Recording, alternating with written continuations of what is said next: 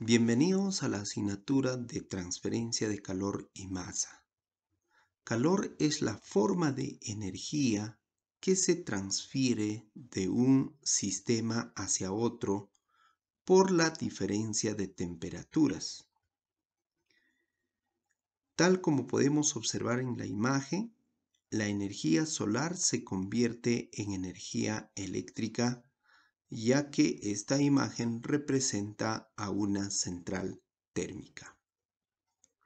Como sabemos, la termodinámica se encarga del estudio de las diversas transformaciones energéticas, es decir, cuantifica la cantidad total de calor que se transfiere de un sistema hacia otro.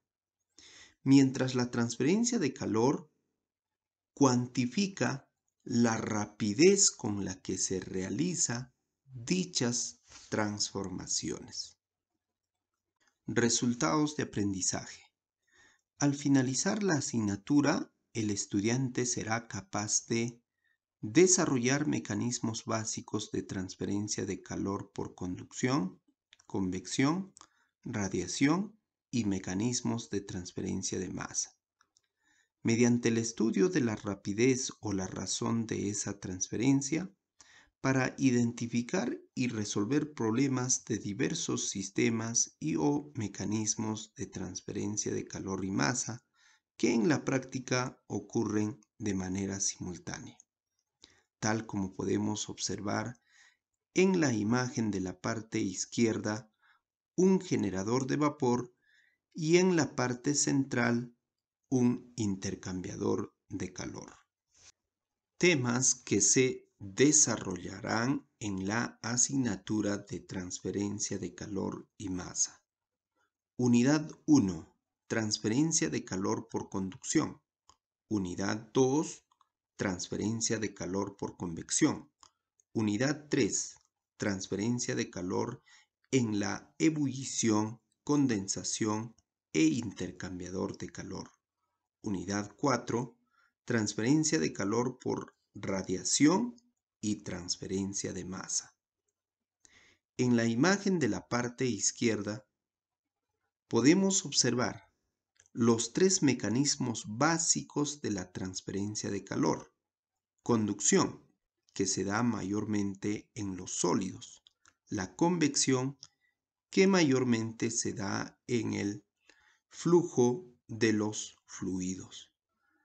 Y la radiación que se da obviamente en el vacío. Ahí podemos observar las ecuaciones que nos permiten cuantificar la rapidez de esa transferencia de calor. También en la parte inferior podemos observar la transferencia de masa por desplazamientos de átomos. Sistema de evaluación.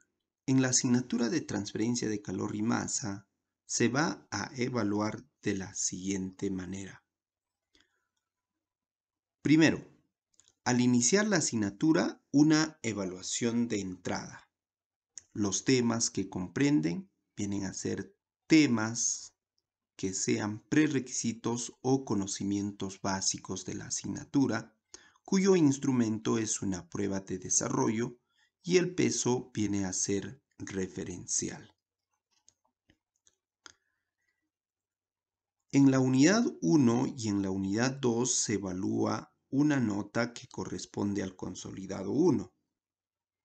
En la unidad 1 una prueba de desarrollo y en la unidad 2 una rúbrica de evaluación sobre el trabajo o proyecto que se le asigna al estudiante al inicio de la asignatura y tiene un peso del 20%.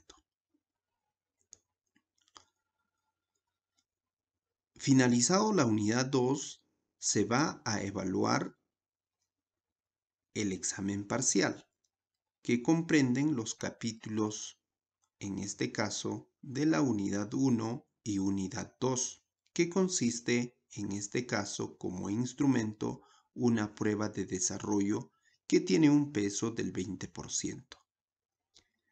De manera similar que en el consolidado 1, en el consolidado 2, tanto en la unidad 3 y en la unidad 4, tendremos dos instrumentos de evaluación.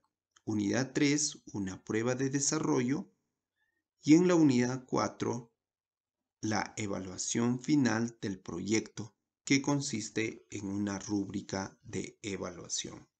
Ambas notas generan un 20% de peso para la calificación final de la asignatura. Finalizado la asignatura, se evaluará un examen final que comprenden todos los temas de todas las unidades, cuyo instrumento de evaluación viene a ser una prueba de desarrollo que tiene un peso del 40%.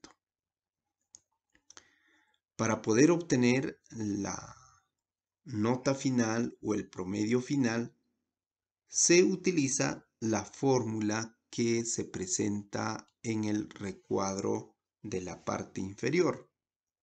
En el caso que el estudiante tenga una nota desaprobatoria, hay la posibilidad de contar con una evaluación sustitutoria que comprende los temas de todas las unidades y cuyo instrumento de evaluación viene a ser una prueba de desarrollo. Tener en cuenta que esta nota obtenida reemplaza a la nota más baja que se ha obtenido en los rubros anteriores. Observando la figura de la parte izquierda, nos hacemos la siguiente pregunta. ¿Qué es un horno solar y para qué sirve en la industria? Bueno, es un conjunto de heliostatos que se mueven en el sol y reflejan las radiaciones en un foco, que pueden alcanzar temperaturas de 3000 grados Celsius y que posteriormente servirá para poder medir las resistencias de los materiales metálicos y cerámicos en la obtención de fibras de alta dureza para probar reacciones químicas o incluso en el campo aeroespacial, ayudando de esta forma a los avances en la termomecánica.